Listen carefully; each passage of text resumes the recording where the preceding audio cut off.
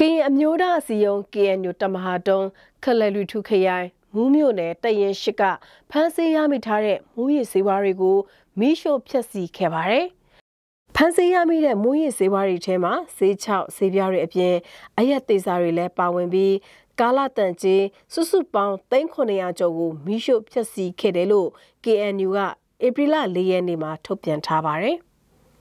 KNU တမဟာတုံးမူးမြို့နယ်တရင်ရှိမူရည်စေဝါတိုက်ဖြတ်ရေးကော်မတီတာဝန်ရှိသူတွေ KNL တွေတပ်ပိုင်းဆိုင်ရာခေါင်းဆောင်တွေနဲ့အတူ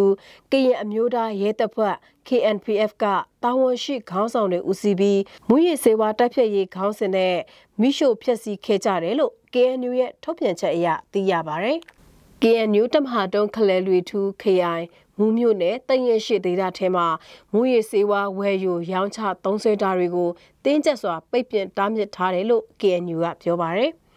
ဒါကြောင့်ဖမ်းဆီးထားတဲ့မူရည်စေဝါဖြန့်ဖြူရောင်းချသူတွေကိုကရင်အမျိုးသားစီယုံ KNU ကပြတန်းထားတဲ့မူရည်စေဝါအထူးအဥပဒေအရ